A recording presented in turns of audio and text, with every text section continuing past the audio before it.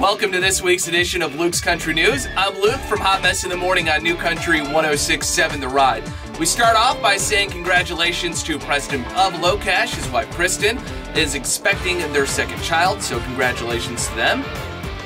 ACMs are coming up on Sunday. Make sure you watch because Carrie Underwood's going to be singing her new song, Cry Pretty, which, if you haven't heard it yet, you can either listen to it here on 1067 The Ride or wait until Sunday.